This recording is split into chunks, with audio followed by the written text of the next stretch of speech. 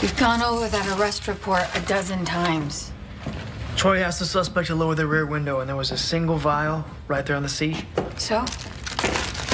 No drugs on him or anywhere else in the car. Again, so?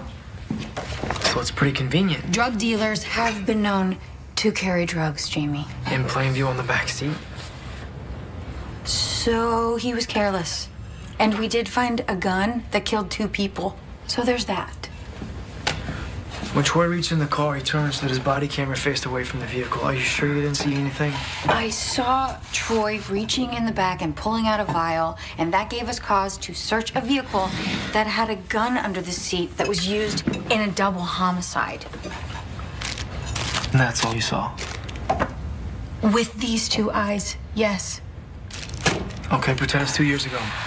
You and I are still riding together as partners, both of us on that scene. What else might one of us have noticed?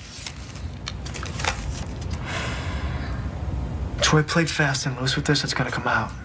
How? Because if I can't get to the bottom of it, I have to make a phone call. What?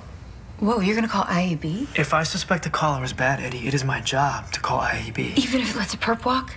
And jams me up in the process? You'll be just fine. And so will the perp fine and dandy out on the street.